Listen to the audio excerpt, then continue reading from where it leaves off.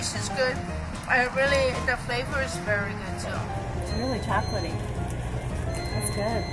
It's way better than I was expecting. Yeah. Yeah, it's great. Tastes good. I love that it's gluten free. So, and it tastes good a lot of gluten free products are thumbs down. but this is really good. The brand is great because I don't have to worry about when I'm giving my kids. That really actually tastes like chocolate. I've had a lot of different healthier options that were supposed to be chocolatey. They tasted very um, chalky and just really gross, and I did not enjoy them. But this actually, I would eat this like every day.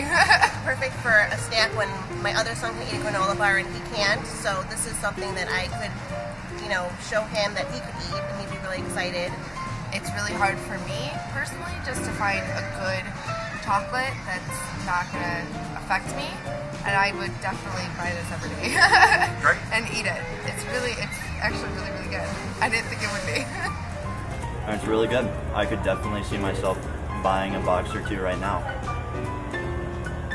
Yeah, I've never tried it before, and uh, I think I'm gonna buy a box because that's delicious. And it's really hard to find good peanut-free snacks for children his age, which is three. So this is something you would definitely love.